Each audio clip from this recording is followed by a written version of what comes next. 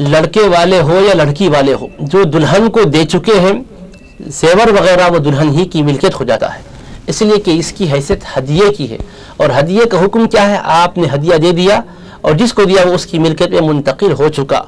अब तलाक के बाद लड़के वाले लड़की से जेवरात का मुतालबा, चढ़ावे का मुतालबा नहीं कर सकते।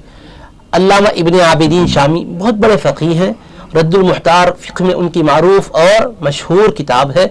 उसमें उन्होंने इस मसले की सलाहत फरमा दी है। इसी पर के नाम फतवा देते हैं कि जो चढ़ावे दुल्हन वालों की तरफ़ से हो के दुल्हे वालों की तरफ़ से हो, जो भी लड़की को दिए गए, वो लड़की की मिल्कियत हो चुके, तलाक के बाद वो वापस नहीं लिए जा सकते।